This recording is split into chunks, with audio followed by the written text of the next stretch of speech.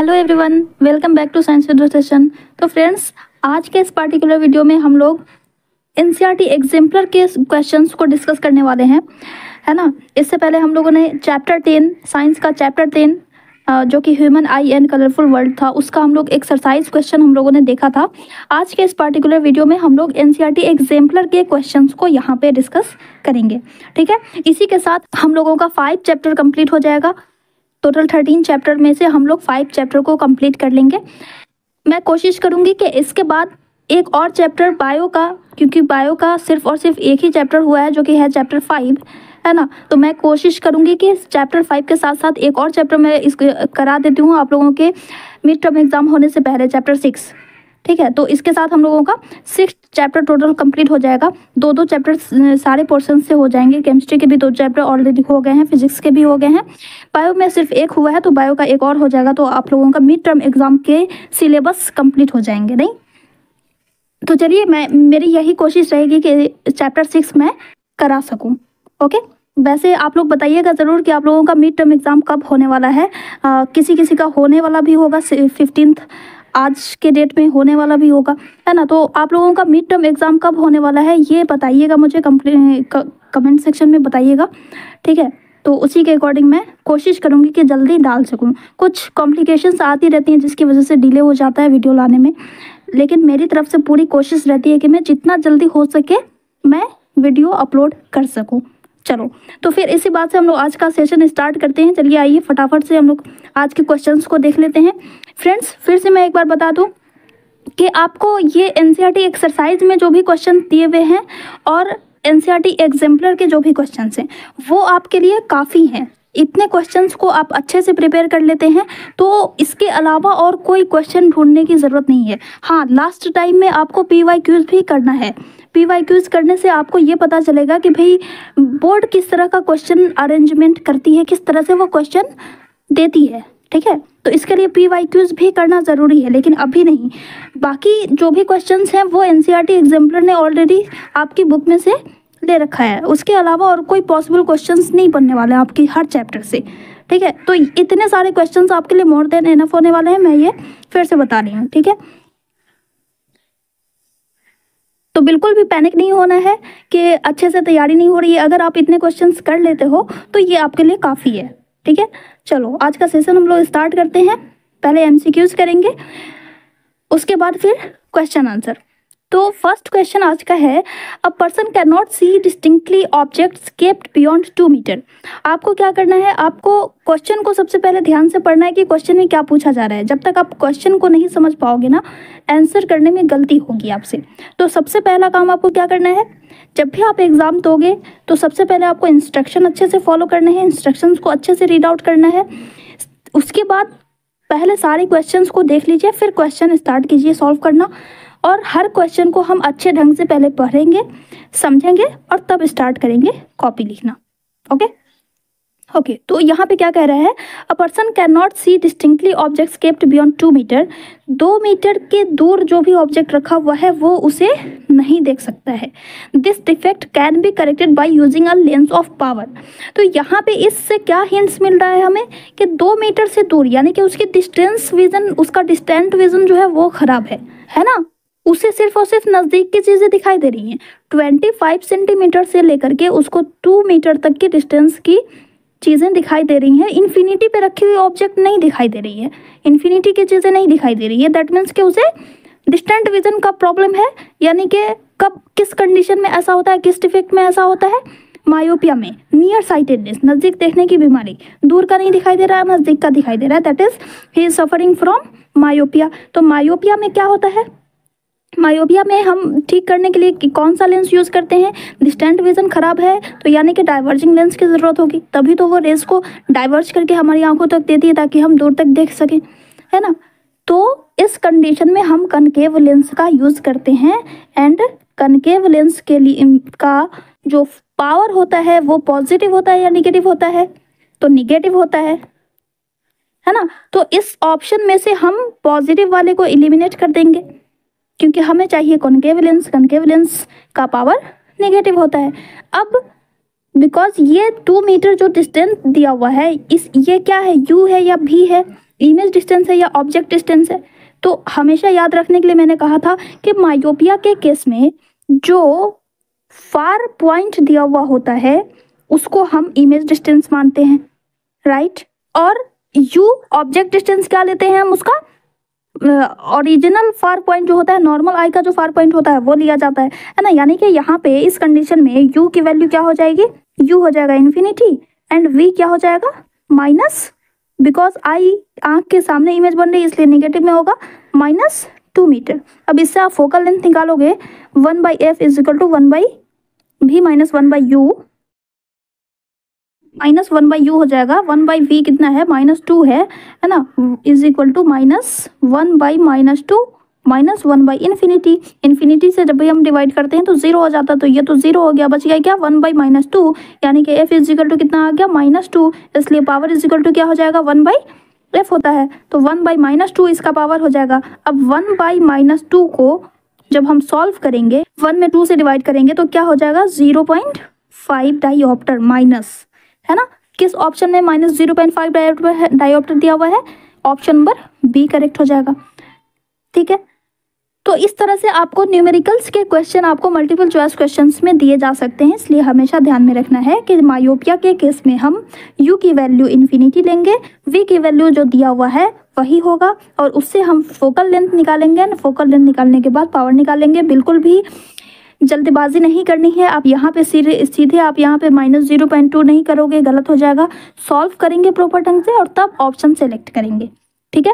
Next question देखिए। Student sitting on the last bench can read the letters written on the blackboard but is not able to read the letters written in his textbook वो दूर का पढ़ पा रहा है black board पे लिखा हुआ पढ़ पा रहा है, नज़दीक की चीज़ें उसको नहीं दिखाई दे रही हैं, वो अपनी टेक्स्ट बुक को नहीं पढ़ पा रहा है।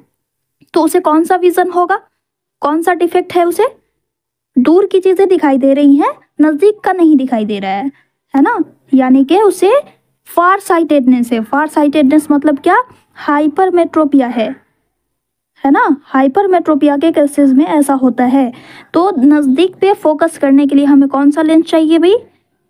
हमें कन्वेक्स लेंस चाहिए होता है। और इस कंडीशन में उसे नज़दीक की चीज़ें दिखाई क्यों नहीं दे रही हैं? क्योंकि उसका जो नियर पॉइंट होता है, वो दूर चला जाता है। तो दूर जाने को क्या कहते हैं? अब ऑप्शन देखिए ऑप्शन में क्या कह रहा है? Which of the following statement is correct correct statement बताना है। फ़र्स्ट है the near point of his eyes has receded away receded away मतलब दूर चला जाना। तो यही तो हो रहा है यहाँ पे, है ना? तो ऑप्शन ए करेक्ट हो जाएगा। और बाकी ऑप्शन भी देख लीजिए। The near point of his eyes has come closer to him तो ये तो नहीं होता है। क्लोज नहीं होता है बल्कि दूर चला जाता है। तभी हमें दूर, हर सारी चीज़ें हम दूर की ही देख पाते हैं, है ना? The far point of his eyes has come closer to him ये भी गलत है। फार पॉइंट क्लोज नहीं होता है। फार पॉइंट क्लोजर कब हो जाता है? किस कंडीशन में? मायोपिया के केस में। तो अगर यहाँ पे मायोपिया का केसेस होता कि उसे ब्लैक बोर्ड पे लिखी हुई चीज़ें नहीं दिखाई दे रही हैं बट वो he is able to read the letter in his textbook तो ऑप्शन सी करेक्ट होता ठीक है? Far point of his eyes has receded away ये भी गलत हो जाएगा। Option A will be correct चलिए नेक्स्ट क्वेश्चन देख लेते हैं। A prism A B C with B C as base यहाँ पे ए बी सी एक प्रिज्म दिया हुआ है। Is placed in different orientation a narrow beam of white light is incident on the prism as shown in figure 11.1 ठीक है, यहाँ पे फिगर जो दिया हुआ है, उस तरह से एक नैरो बीम इंसिडेंट की जा रही है। In which of the following cases after dispersion the third colour from the top corresponds to the colour of the sky अब इस प्रिज्म को हम किस तरह से रखेंगे कि एक नैरो बीम जब हम इंसिडेंट करते हैं तो उसके डिस्पर्जन के बाद जो हमें रे मिलेगी, उसमें ऊपर से थर्ड पोजीशन पर स्काई का कलर होना चाहिए दैट इज़ ब्लू कलर तो ऐसा कब होगा? नॉर्मल केस में जब हम इसे सीधा रखते हैं इस तरह से, जब हम इसे इस तरह से रखेंगे तो ऊपर रेड होता है। है ना? वी बिगोर नीचे से ऊपर की तरफ़ बनेगा। V I B G Y O R नहीं तो इसमें थर्ड पोजीशन पे क्या बन रहा है? आर ओ वाई येलो है ना? यानी कि ऊपर से थर्ड पोजीशन पे येलो हो रहा है, नीचे से थर्ड पोजीशन पे ब्लू है। तो दैट मीन्स कि हम इसे अगर पलट के रख देते हैं, तब ये ब्लू ऊपर से थर्ड पोजीशन पे नहीं आ जाएगा। आ जाएगा, है ना? तो इस तरह से हम अगर इसे पलट के रखते हैं तो कुछ इस तरह का डिस्पर्जन होगा। इस तरह का डिस्पर्जन होगा और तब हमें जो ये पैटर्न मिलेगा तो इस पे उल्टा पैटर्न हमें मिलेगा, ऊपर से नीचे की तरफ़ VIBGYOR V I B G Y O R तो थर्ड पोजीशन पे हमें ब्लू कलर मिलेगा, इसलिए ऑप्शन सेकंड करेक्ट हो जाएगा। ठीक है? नेक्स्ट क्वेश्चन देख लीजिए। At noon the sun appears white as दोपहर के टाइम में सन वाइट क्यों दिखाई देता है? इसके पीछे क्या रीज़न है? क्योंकि दोपहर के टाइम में जो सन है, वो बिल्कुल हमारे ऊपर होता है। हमारे सर सर के ऊपर होता है एकदम। इसकी जो डिस्टेंस होती है, वो अर्थ से बिल्कुल कम होती है। जिसकी वजह से लाइट जो आ रही होती है, वो लिस्ट स्कैटर्ड हो पाती है। कम स्कैटरिंग हो पाती है। इसकी वजह से ये हमें वाइट कलर दिखता है। पूरी की पूरी बीम हम तक पहुँच रही होती है और ये हमें वाइट दिखाई देता है। है ना? तो क्या रीजन हो जाएगा? Light is least scattered option A correct हो जाएगा।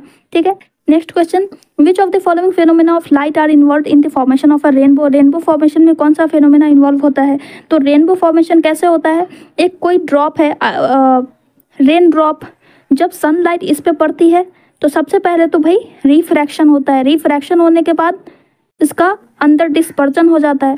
फिर डिस्पर्जन होने के बाद अंदर ही फिर से ये रिफ्लेक्ट बैक करती है और तब जाकर के डिस्पर्ज होकर के हमारी आँखों पे सात रंगों में विजिबल होती है। है ना? तो पहला रिफ्रैक्शन उसके बाद डिस्पर्जन और तब इंटरनल रिफ्रैक्शन रिफ्लेक्शन तो ये किस ऑप्शन में है?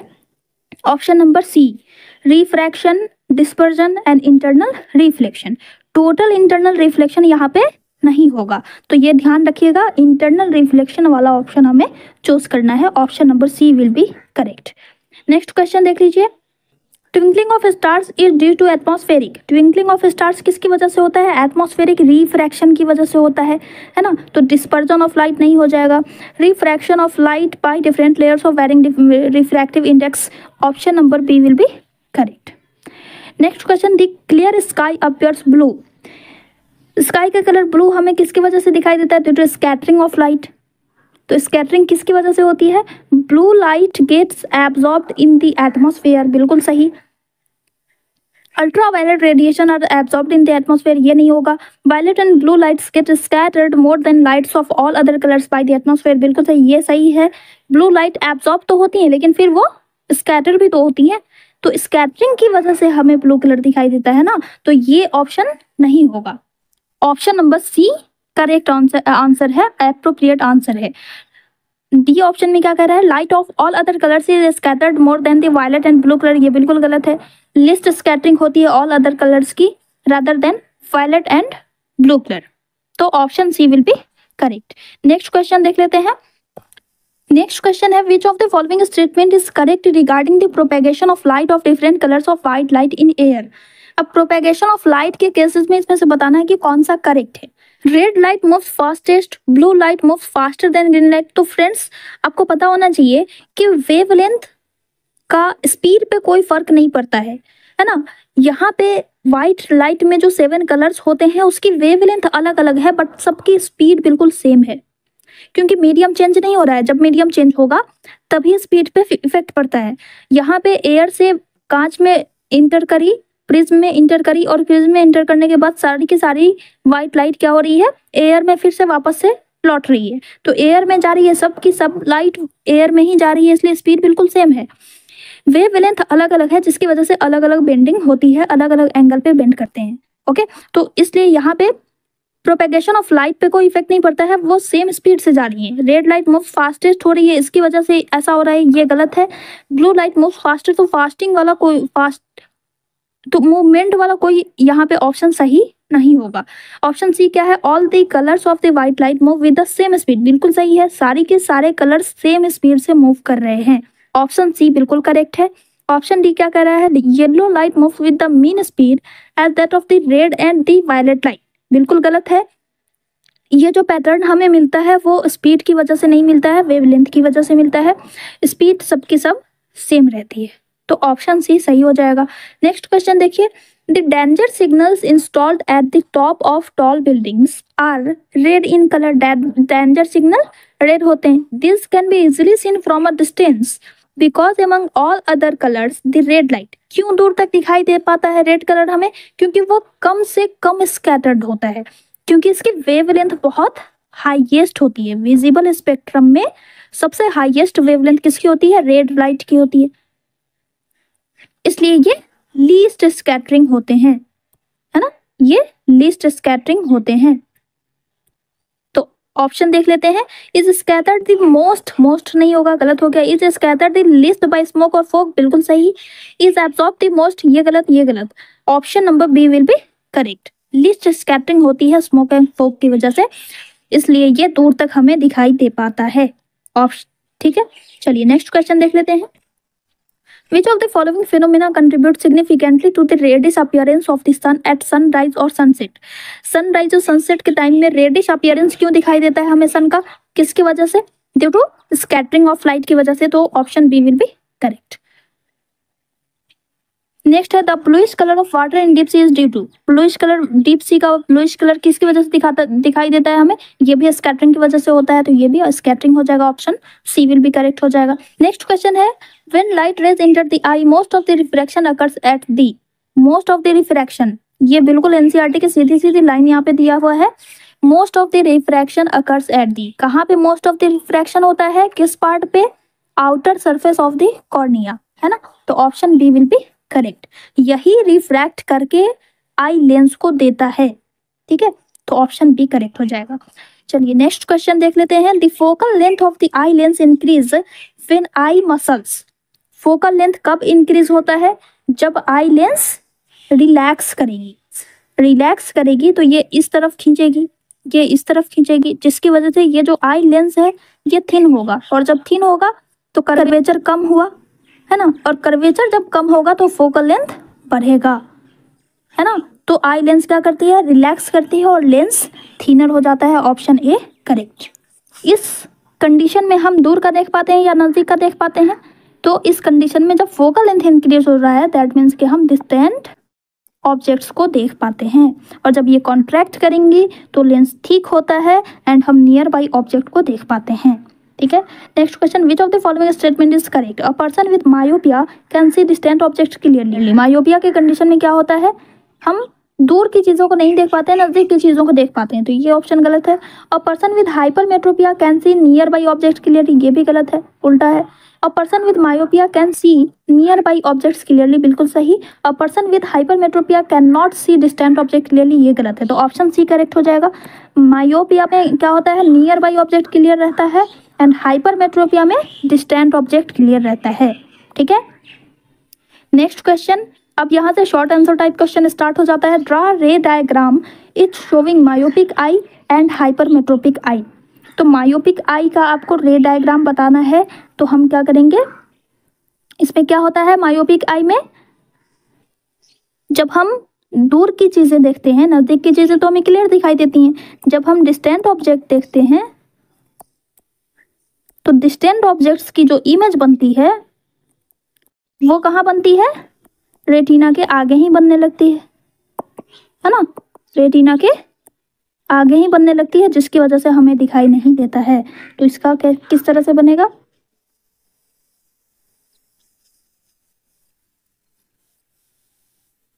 ये रहा कॉर्निया यहाँ पे है लेंस यहाँ से डिस्टेंट विजन का हम सीधा लाइन एक खींचेंगे। यहाँ पे नियर पॉइंट हो जाता है है ना? फार पॉइंट जो हो जाता है, वो क्या हो जाता है? नियर पॉइंट हो जाता है, नहीं? और यहाँ पे नॉर्मल नियर पॉइंट है। तो नियर पॉइंट जो होता है, वही उसका फार पॉइंट बन जाता है है ना? तो दूर से जब रे आ रही होती है तो इस कंडीशन में क्या होता है कि ये जब दूर से आ रही है लाइट इस पे पड़ती है, इस पे पड़ती है दूर से आ रही लाइट जब इस पे पड़ती है तो ये पहले ही डाइवर्स कन्वर्ज हो जाती है, पहले ही। इस रेटिना पे ना जा करके ये पहले ही कन्वर्ज हो जाती है, जिसकी वजह से हमें दिखाई नहीं देता है। है ना? हाइपरमेट्रोपिक आई में क्या होता है? नियर बाई ऑब्जेक्ट्स जो होते हैं, उनकी इमेज रेटिना के पीछे बनने लगती है बिहाइंड द रेटिना जिसकी वजह से हमें नहीं दिखाई देता है तो इसका क्या करेंगे? हम कैसे बनाएँगे?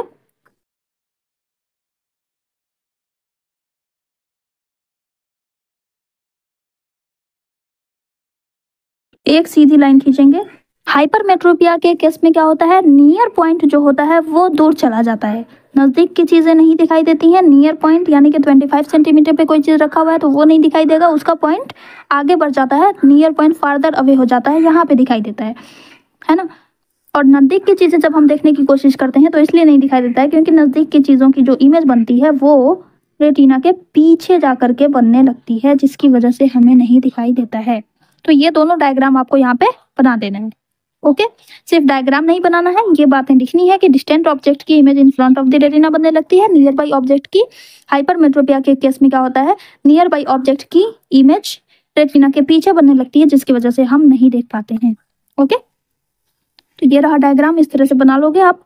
Okay next question a student sitting at the back of the classroom classroom के पीछे बैठा हुआ है। Can not read clearly the letters written on the blackboard what advice will a doctor give to her अब यहाँ पे ये देखो एमसीक्यूज में क्या क्वेश्चन था और यहाँ पे क्या क्वेश्चन है? यहाँ पे डायरेक्ट उसका अपोजिट है। यहाँ पे जो स्टूडेंट बैठी हुई है, उसे वो क्लासरूम में बिल्कुल पीछे बैठी हुई है तो उसे ब्लैक बोर्ड पे लिखा हुआ नहीं दिखाई दे रहा है। ब्लैक बोर्ड नहीं दिखाई दे रहा है। तो उसे क्या एडवाइस करेगी डॉक्टर उसके लिए? तो उसे कौन सी कंडीशन है भाई? कौन सा डिफेक्ट है? मायोपिया। है ना? मायोपिया में क्या होता है? दूर की चीज़ें नहीं दिखाई देती हैं, नज़दीक की चीज़ें दिखाई देती हैं नियर साइटेडनेस नज़दीक की चीज़ें दिखाई देती हैं। तो इस कंडीशन में डॉक्टर क्या एडवाइस करेगी? कि उसे कनकेव लेंस कनकेव लेंस लगाना चाहिए, जो कि डाइवर्जिंग लेंस है। डाइवर्ज करती है लाइट रेस को। है ना? तो ये डाइवर्ज करके दूर तक लाइट को फेंकती है और तब हमें दूर की चीज़ें दिखाई देती हैं। ओके इसका रे डायग्राम कैसे बनेगा?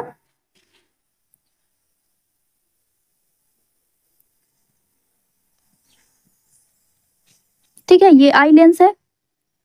यहाँ से एक सीधी लाइन पहले हमें खींच लेना है। उसके बाद अब यहाँ से ये रहा इसका नियर पॉइंट तो दूर से जब भी कोई आ रहा है, यहाँ पे इसके करेक्शन के लिए हम क्या करेंगे यहाँ पे? कनकेव लेंस लगाएँगे। कनकेव लेंस क्या करेगी? डाइवर्ज करके देगी, है ना? तो इस तरह से आएगी लाइट इस तरह से लाइट आएगी। ये लेंस पे डाइवर्ज करके देगी, नहीं? इस तरह से डाइवर्ज करके देगी। तब जाकर के रेटिना पे फोकस होगा, है ना? पहले ये डाइवर्ज करके देगी, जिसकी इमेज लाइट यहाँ पे पड़ेगी। इसके फार पॉइंट पे। हमें जहाँ तक दिखाई दे रहा है, हमें वहीं पे चीज़ें दिखाई देंगी, है ना? तो इसका जो नियर पॉइंट है ये, यहीं पे इसकी इमेज बनेगी और हम देख पाएँगे इस तरह से। ठीक है? तो इस तरह से आपको बना लेना है। चलिए नेक्स्ट क्वेश्चन देख लेते हैं। ये देखिए क्वेश्चन आंसर देख लीजिए इसका। The student is suffering from myopia और near sightedness because he okay यहाँ पे हर है तो यहाँ पे शी हो जाएगा। Because she can not see distant objects clearly doctor will advise advice मतलब होता है सलाह एडवाइस मीन सलाह देना। ठीक है? तो सलाह देगी डॉक्टर तो इसलिए यहाँ पे होगा advice the doctor will advise her an eye glass with concave lens of suitable power to bring the image back on to the retina इसमें क्या होता है? इमेज ओके okay, ये गलत है डायग्राम कनकेव लेंस का डायग्राम आप यहाँ पे बनाओगे जो पहले मैंने दिखाया था अभी है ना? वो डायग्राम यहाँ पे बनेगा ये गलत है ठीक है? यहाँ पे कनकेव लेंस लगेगा और यहाँ से रेज आ रही है और तब वो डाइवर्ज होगी। ठीक है? चलिए। नेक्स्ट क्वेश्चन है how are we able to see nearby and also distant objects clearly हम दूर की चीज़ों को और नज़दीक की चीज़ों को कैसे देख पाते हैं, ये बताना है। तो कैसे देख पाते हैं? Due to the ability of adjustment power of accommodation की वजह से हम देख पाते हैं। लेंस के अंदर जो एबिलिटी होती है पावर ऑफ़ एकोमोडेशन की फोकल लेंथ को एडजस्ट करने की, घटाने की, बढ़ाने की, उसी की वजह से हम चीज़ों को देख पाते हैं। दूर की भी चीज़ें हमें दिखाई देती हैं, नज़दीक की भी चीज़ें दिखाई देती हैं, है ना? और ये सारी चीज़ें होती किसकी वजह से हैं? सिलियरी मसल्स की वजह से। सिलियरी मसल्स जब रिलैक्स करती हैं तो हम डिस्टेंट विजन देख पाते हैं, दूर की चीज़ें देख पाते हैं, है ना?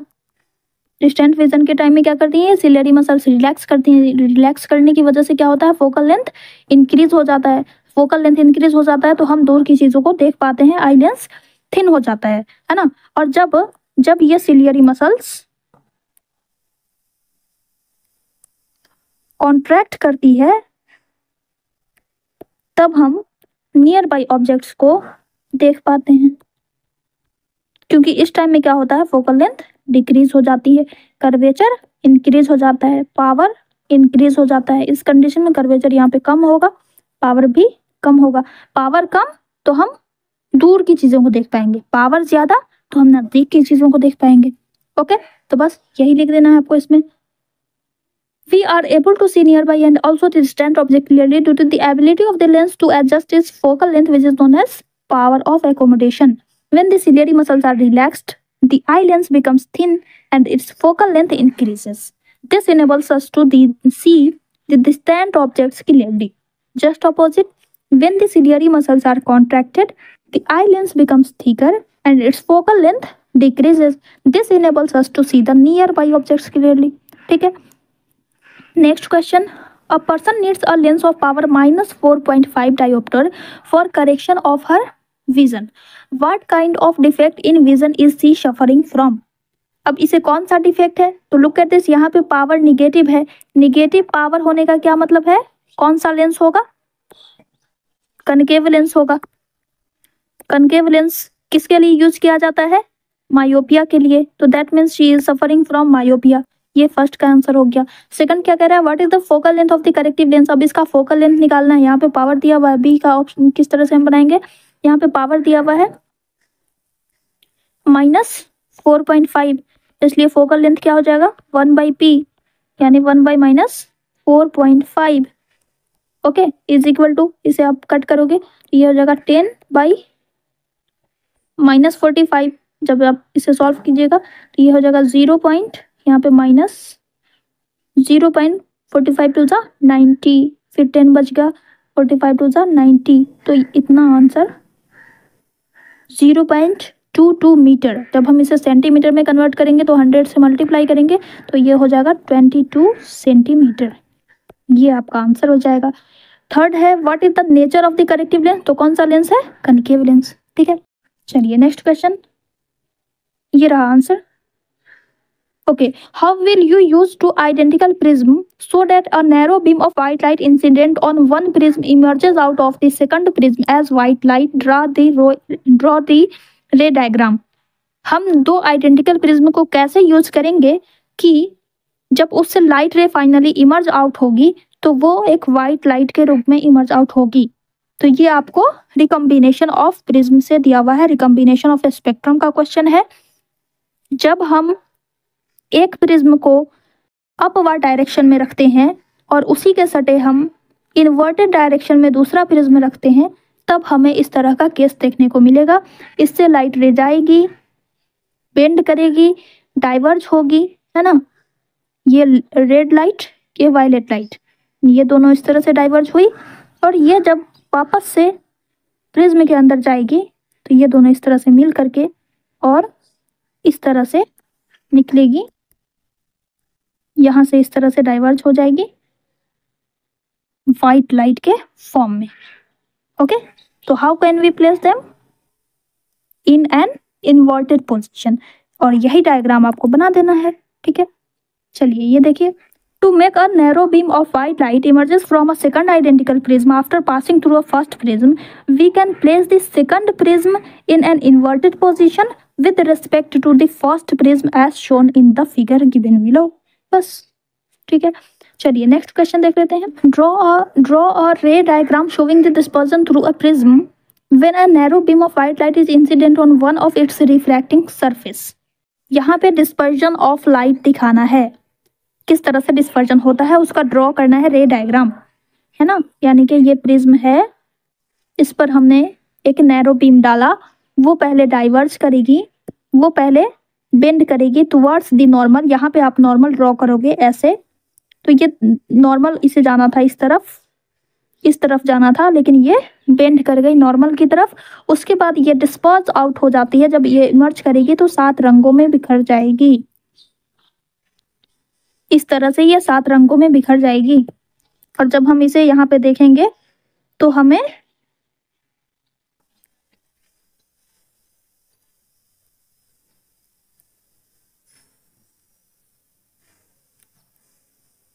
Blue, indigo, violet. ये पैटर्न हमें दिखाई देगा यहाँ पे। Also indicate the order of the colour of the spectrum obtained ये कलर भी आपको शो करना है। Red colour orange yellow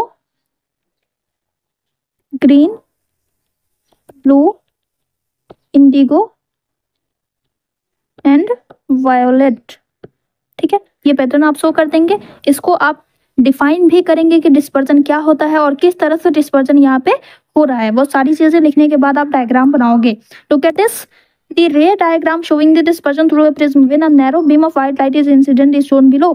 उसके बाद आपको पैटर्न बता देना है The order of the color of the spectrum obtained is violet, indigo, blue, green, yellow, orange and red starting from the base of the prism to upward base से upward direction में ये pattern दिया हुआ है violet Indigo अगर आप ऊपर से नीचे लिखोगे तो red orange yellow green blue indigo violet होगा.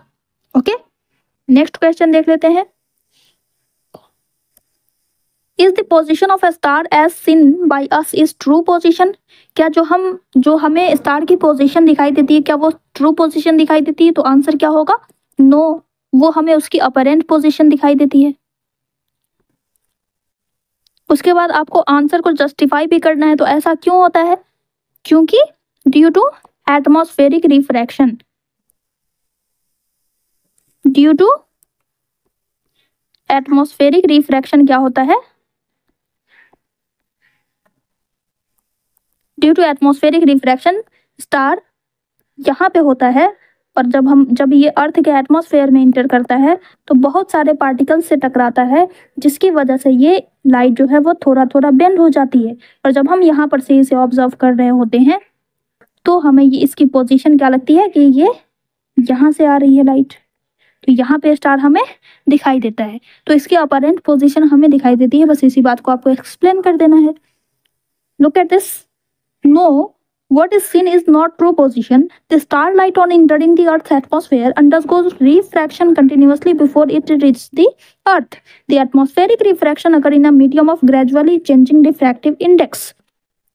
जैसे जैसे अर्थ अर्थ का जो एटमॉस्फेयर है वो लेयर में प्रेजेंट है अब जो अर्थ के बिल्कुल नज़दीक है उसका रिफ्रैक्टिव इंडेक्स ज़्यादा होता है जैसे जैसे ऊपर बढ़ता जाता है एयर के पार्टिकल्स कम हो जा, होते जाते हैं यानी कि उसका रिफ्रैक्टिव इंडेक्स लो होता जाता है है ना? तो जब यहाँ से लाइट आ रही है तो वो ज़्यादा रिफ्रैक्टिव इंडेक्स को क्रॉस करती हुई अर्थ पे पहुँचती है। रिफ्रैक्टिव इंडेक्स बढ़ता जा रहा है। जैसे ही नीचे आ रही है लाइट रिफ्रैक्टिव इंडेक्स बढ़ता जा रहा है, जिसकी वजह से लाइट बेंड होती चली जाती है और हमें अपरेंट पोजीशन दिखाई देती है। ओके चलो next question why do we see a rainbow in the sky only after rainfall सिर्फ़ रेनफॉल के बाद ही हमें रेनबो क्यों दिखाई देता है? क्योंकि रेनफॉल के बाद कुछ रेन ड्रॉप जो होते हैं, वो अर्थ के एटमोसफेयर में इस तरह से सस्पेंडेड हो जाते हैं, लटक जाते हैं। और उस पर जब सनलाइट पड़ती है तो वो रिफ्लेक्ट होकर के हमारी आँखों पर पड़ती है। इसीलिए हमें हमेशा रेनफॉल के बाद ही रेनबो दिखाई देता है। इसी बात को आपको लिख देना है। आप चाहो तो वो डायग्राम भी बना सकते हो अच्छा रहेगा। बिल्कुल बना, बनाना चाहिए आपको। है ना? यहाँ पे एक ड्रॉप बना लीजिएगा और यहाँ पे सनलाइट यहाँ से सनलाइट आ रही है। ये इस पे पड़ी रिफ्रैक्ट हुई डिस्पर्ज हुई और रिफ्लेक्शन हुआ और तब जाकर के ये हमारी आँखों में पहुँचती है और तब इसकी इमेज हमें इस तरफ़ यहाँ पे दिखाई देती है। तो यहाँ पे रेनबो का कलर हमें दिखाई देता है। जस्ट अपोजिट डायरेक्शन में। सूरज यहाँ पे है तो हमें रेनबो यहाँ पे दिखेगा। अपोजिट डायरेक्शन में हमारे सर के पीछे होना चाहिए सूरज और रेनबो हमें सामने दिखाई देगा। ठीक है? नेक्स्ट क्वेश्चन देख लीजिए। Why is the colour of the sky blue ये तो हमने करा दिया है। क्यों कलर स्काई का ब्लू होता है? क्योंकि ब्लू कलर जो होती है, वो मोस्ट स्कैटरिंग होती है। मोस्ट स्कैटरिंग होती है due to shorter wavelength shorter wavelength होने की वजह से ब्लू कलर मोस्ट स्कैटरिंग होती है, जिसकी वजह से ये ज़्यादा स्कैटर होती है। हर पार्टिकल्स इसको क्या कर देते हैं? इमिट आउट कर देते हैं, जिसकी वजह से हमें हर जगह ब्लू कलर ही दिखाई देता है। जिसकी वजह से यही कलर हमारी आँखों पे पहुँचता है और हमें ब्लू कलर दिखाई देता है। इसी बात को आपको बनाकर लिख देना है। The blue colour of the clear sky is due to the scattering of sunlight the molecules of air and other fine particles in the atmosphere are more effective in scattering light of shorter wavelength क्योंकि उनका size इस light की wavelength से कम होता है तो इसलिए ये शॉर्टर वेवलेंथ की लाइट को ही स्कैटर कर पाते हैं और ब्लू लाइट का बिकॉज़ शॉर्टर वेवलेंथ होता है वैसे तो अगर आप देखो तो वी आई बी ये तीनों की शॉर्टर वेवलेंथ होती है 400 450 एंड ब्लू की कितनी होती है? 500 यानी कि 400 टू 500 की लाइट को ये स्कैटर कर पाते हैं। लेकिन हमें वायलेट और इंडिगो कलर क्यों नहीं दिखाई देता है? क्योंकि ये हमारी आँखों के लिए उतनी सेंसिटिव नहीं होती है, जितनी ब्लू कलर होती है। इसीलिए हमें स्काई का कलर ब्लू दिखाई देता है। Okay next question what is the difference in colors of sun observed during sunrise और sunset and noon? अब इस दोनों के टाइम में जो कलर दिखाई देता है सनसेट सनराइज के टाइम में हमें रेड कलर दिखाई देता है और नून के टाइम में हमें वाइट कलर का सूरज दिखाई देता है। तो इस दोनों के बीच में क्या डिफरेंस है वो बताना है, उसे एक्सप्लेन करना है। तो रेडिश कलर हमें क्यों दिखाई देता है? क्योंकि शाम के टाइम में, सुबह के टाइम में और शाम के टाइम में सूरज ज़्यादा दूर होता है है ना? ये सनसेट है और ये सनराइज का टाइम है।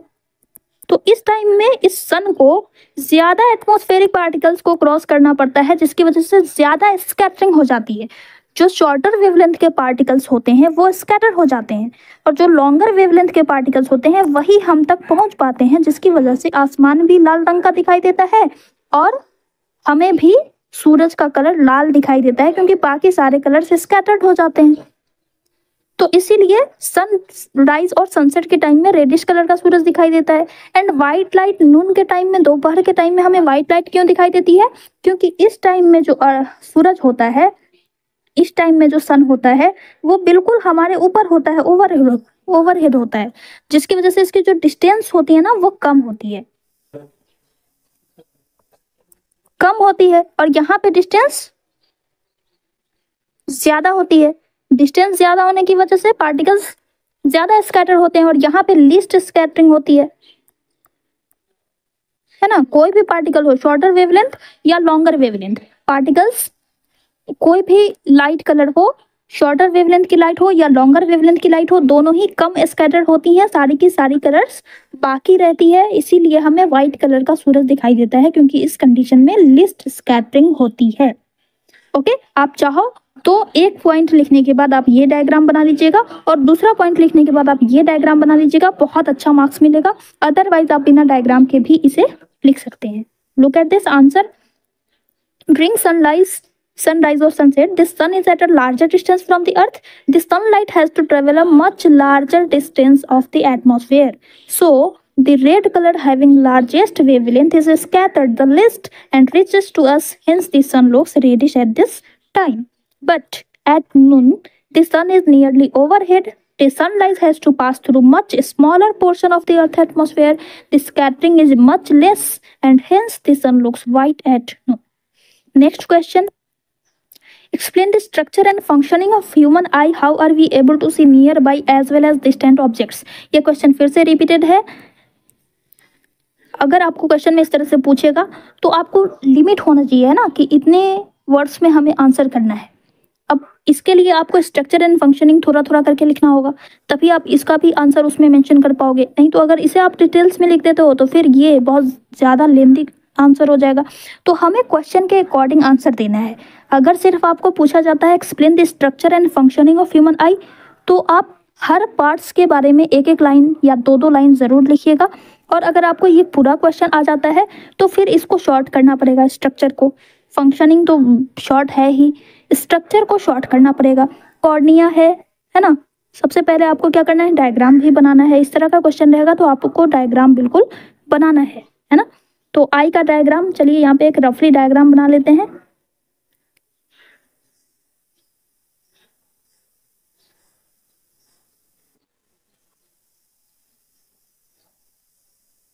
ये रहा हमारा आई बहुत अच्छा बन गया है। यहाँ पे ये जो पोर्शन है ये ट्रांसपेरेंट बल्ज आउट जो दिख रहा है, हमें वो है कॉर्निया ओके उसके बाद यहाँ पे होती है आइरिस इस तरफ़ होती है आइरिस तो सेकंड क्वेश्चन सेकंड पार्ट हो गया आइरिस इसके बीच में ये जो होल होता है, ये जो होल होता है, इस होल से लाइट एंटर करती है। इस होल को हम कहते हैं प्यूपिल इसके जस्ट पीछे यहाँ पे लेंस लगी हुई होती है, क्रिस्टलिन लेंस लगी हुई होती है, जिसे हम आई लेंस कहते हैं। उसके बाद इस आई लेंस को पकड़ के रखती है सिलियरी मसल्स यहाँ पे सिलियरी मसल्स इसको पकड़ के रखती हैं।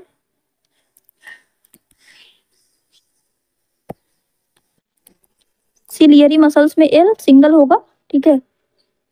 सिलियरी मसल्स उसके बाद इसके बीच में जो लिक्विड भरा हुआ होता है, जो इसे न्यूट्रिशन प्रोवाइड करता है कॉर्निया एंड लेंस को न्यूट्रिएंट्स प्रोवाइड करता है, उसे हम कहते हैं एक्वस ह्यूमर उसे हम कहते हैं एक्वस ह्यूमर उसके बाद ये जो पोर्शन हमें दिख रहा है, इस पोर्शन को में भी लिक्विड भरा हुआ होता है, जो कि इस शेप को मेंटेन करके रखता है। इसे हम कहते हैं विट्रियस ह्यूमर विट्रस ह्यूमर ये थोड़ा सा वाटरी होता है और ये जेली लाइक होता है।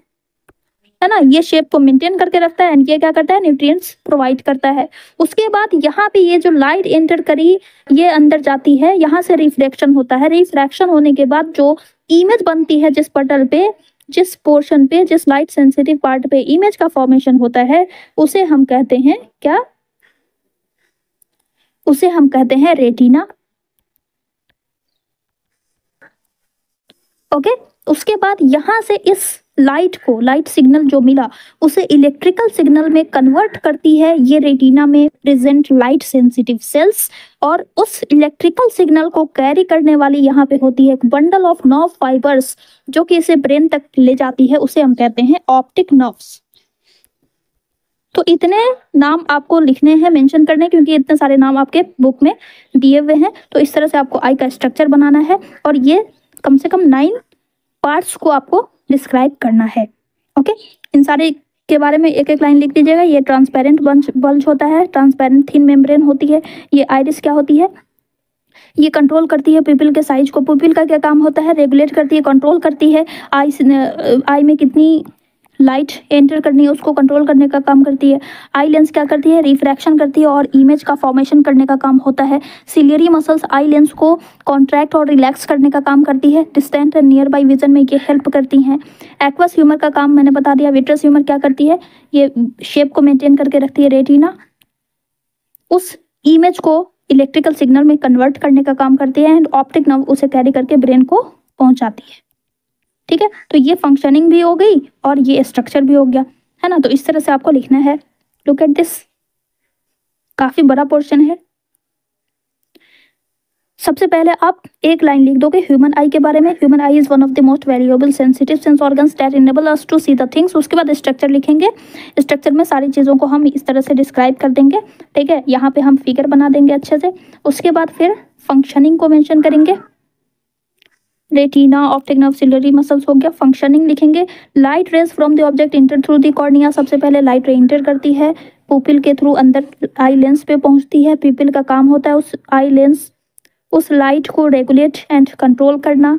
उसके बाद आउटर सरफेस की जो कॉर्निया होती है एंड आई लेंस होती हैं, वो दोनों क्या करती है? कन्वर्ज करती है। रेटिना पे, जिसकी वजह से रियल एंड इन्वर्टेड इमेज का फॉर्मेशन होता है, फिर उस इमेज को लाइट सेंसिटिव सेल्स जो होती हैं रेटिना की, वो उस इमेज को पा करके, उस लाइट को पा करके एक्टिवेट हो जाती है।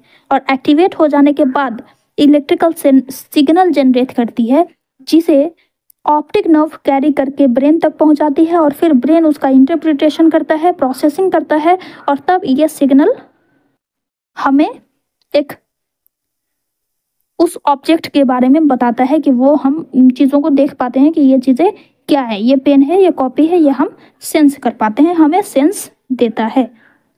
ओके उसके बाद सेकंड क्वेश्चन था कि हम कैसे दूर की चीज़ों को देख पाते हैं और नज़दीक की चीज़ों को देख पाते हैं तो ये भी आप आंसर करोगे। यहाँ पे मेंशन है to see distant object the ciliary muscles relax and eye lens becomes thin thereby increasing its focal length while viewing nearby object तो इस तरह से हम डिस्टेंट ऑब्जेक्ट देखें, देखते हैं और नियर बाई ऑब्जेक्ट के लिए क्या करती हैं? सिलियरी मसल्स कॉन्ट्रैक्ट होती हैं making the eye lens thicker and decreasing its focal length thus we are able to see ये काफ़ी इंपॉर्टेंट क्वेश्चन है, इसको आप लोग बहुत अच्छे से प्रैक्टिस कर लीजिएगा।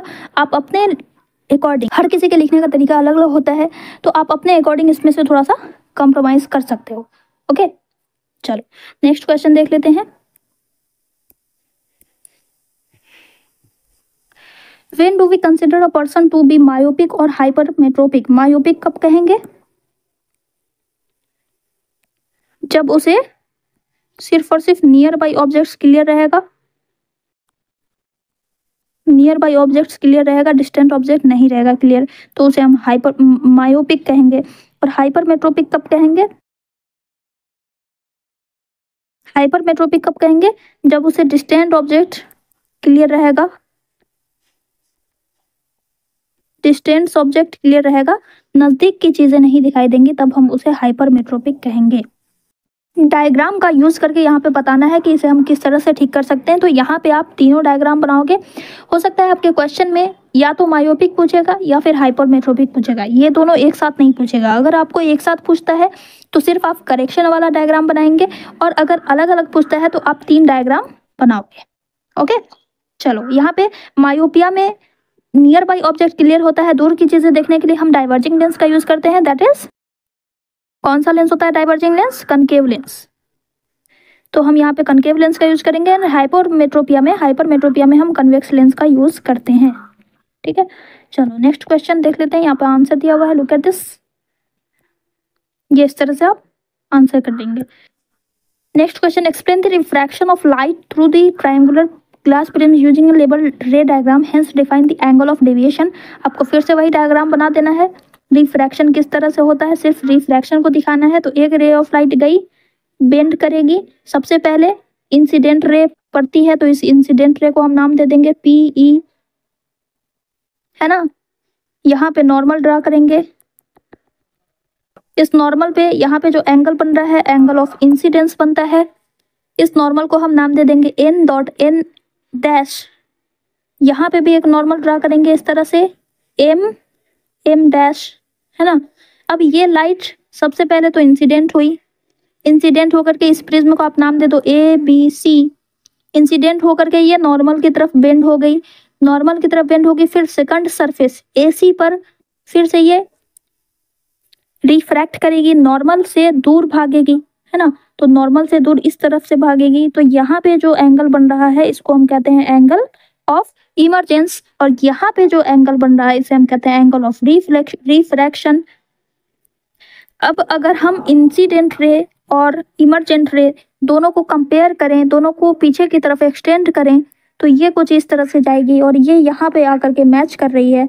तो यहाँ पे एक एंगल बन रहा है जो कि हमें ये बताता है कि ये इंसिडेंट रे अपने पाथ से, अपने ओरिजिनल पाथ से कितना डेविएट हुई है, कितना डेविएट हुई है, ये बताता है उसी एंगल को एंगल ऑफ़ डेविएशन कहते हैं। ये आपको डिफाइन कर देना है कि if we extend the incident ray and emergent ray the angle between this two rays is called angle of deviation this angle of deviation tells us how much an incident ray bends from its original path अपने original path से ये कितना bend हुई है, यही बताता है angle of deviation ये आपको बता देना है और इस तरह से आप डायग्राम बनाएँगे। ठीक है? नेक्स्ट क्वेश्चन देख लीजिए। ये रहा आपका answer look at this okay next question how can we explain the reddish appearance of sun at sunrise फिर से वही क्वेश्चन है, किस तरह से हम एक्सप्लेन कर सकते हैं? Why does it not appear red at noon दोपहर के टाइम में रेड कलर क्यों नहीं दिखाई देता है? क्योंकि यहाँ पे लिस्ट स्कैटरिंग होती है। लिस्ट स्कैटरिंग होती है, इसकी वजह से नहीं दिखाई देता है रेड कलर है ना? और रेडिश अपियरेंस क्यों होता है? बिकॉज़ डिस्टेंस ज़्यादा होती है। ज़्यादा डिस्टेंस होने की वजह से सारे के सारे colour all colours having shorter wavelength scattered away scattered हो जाते हैं। ओनली रेड कलर रेड और ऑरेंज कलर का भी दिखता है कभी कभी है ना? ओनली रेड और ऑरेंज दोनों मिलकर के रेड ही दिखाई देता है, इसलिए रेड ही बोला जाता है। ओनली रेड और orange colour are least scattered, जो कि हमारी आँखों तक पहुँचता है और हमें सन कैसा दिखाई देता है रेड डिश ओके चलो, ये रहा आंसर एंड ये डायग्राम आपको बना देना है। ओके नेक्स्ट क्वेश्चन देख लीजिए। Explain the phenomenon of dispersion of white light through a glass prism तो आप देख सकते हो, कुछ ही कुछ ही पोर्शंस हैं। इसमें वैसे भी काफ़ी कम टॉपिक्स हैं। तो उसी टॉपिक से बस थोड़ा थोड़ा सा लैंग्वेज चेंज हुआ है, आप देख पा रहे होंगे। डिस्पर्जन ऑफ़ वाइट लाइट से एक और क्वेश्चन था, और फिर से ये दूसरा क्वेश्चन है। रिफ्रैक्शन ऑफ़ लाइट से भी एक और क्वेश्चन था। तो इस तरह से आप देख सकते हो, बस यही पॉसिबल क्वेश्चन हैं जो कि इस चैप्टर से बन सकते हैं। तो इतने को अगर आप अच्छे से प्रैक्टिस कर लीजिए तो ये आपके लिए काफ़ी है। लाइट वाले चैप्टर में आपको न्यूमेरिकल्स में ध्यान देना है। मायोपिया का केस कब बनता है? हाइपरमेट्रोपिया का केस कब बनता है? और इन दोनों का न्यूमेरिकल्स हम किस तरह से सॉल्व करेंगे? और बाकी जो फोर टेबल्स आपको दिए हुए हैं, वो टेबल्स आप ध्यान में रख लीजिए। बस काफ़ी है। और इस चैप्टर में बस आप देख सकते हो dispersion of light scattering of light refraction of light ये इंपॉर्टेंट है। है ना? ओके मायोपिया एंड हाइपरमेट्रोपिया इसी में है। तो फिर इसका भी आप इसी तरह से एक्सप्लेन कर दीजिएगा और इसका सुटेबल डायग्राम बना लेना है डिस्पर्जन ऑफ़ लाइट का। इस तरह से रे जाएगी रिफ्रैक्ट होगी, है ना? रिफ्रैक्ट होगी और डिस्पर्ज हो जाएगी।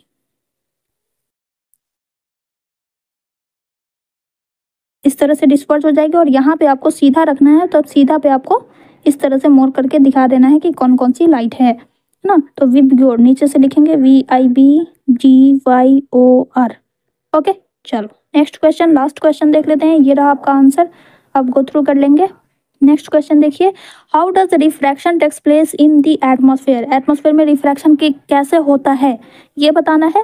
Why do stars twinkle but not the planets तो रिफ्रैक्शन क्यों होता है भाई? क्योंकि अर्थ के एटमोसफेयर में बहुत सारे पार्टिकल्स होते हैं। है ना?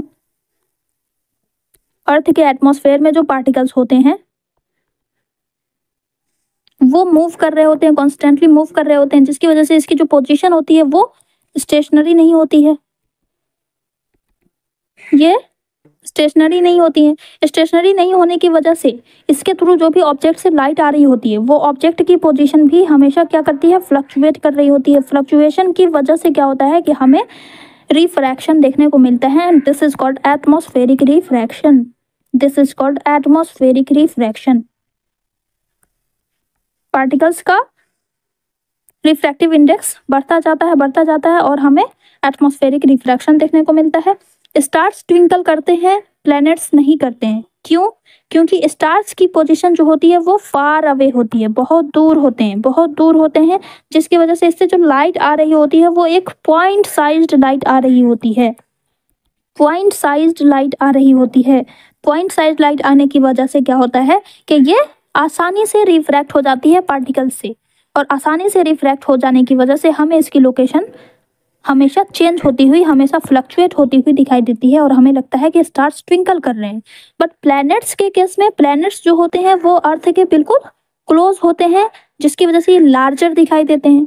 और लार्जर दिखाई देने की वजह से इसमें से बहुत सारी लाइट एक साथ आ रही होती है, जिसमें से कुछ लाइट तो बेंड होती है, लेकिन एक पार्टिकुलर लाइट जो होती है, वो कॉन्स्टेंटली हम तक पहुँच रही होती है। इसीलिए हमें लगता है कि प्लैनेट्स ट्विंकल नहीं कर रहे हैं। क्लियर तो इसी के साथ हमारा ये सेशन कंप्लीट होता है। ये रहा आपका आंसर लुक एट दिस बस टोटल थर्टी क्वेश्चन थे इसमें। आई होप आपको कहीं पे कोई दिक्कत नहीं होगी। अगर आपको अभी भी कोई डाउट है तो आप मुझे ज़रूर बताइएगा। चलिए तो मेरे साथ एंड तक बने रहने के लिए आपका बहुत बहुत थैंक यू मिलते हैं नेक्स्ट लेक्चर में नेक्स्ट लेक्चर में। अब हम लोग, हो सकता है तो चैप्टर नंबर सिक्स जो कि बायो का पोर्शन है, वो हम लोग स्टार्ट करेंगे। मैं कोशिश करूँगी कि आपका जो mid term mid term exam होने वाला है, उससे पहले मैं इसे कंप्लीट करा दूँ, ताकि आपको कोई दिक्कत नहीं ओके? तो चलिए, इसी विशेष के साथ सेशन कंप्लीट करते हैं। टिल दिन टेक केयर बाय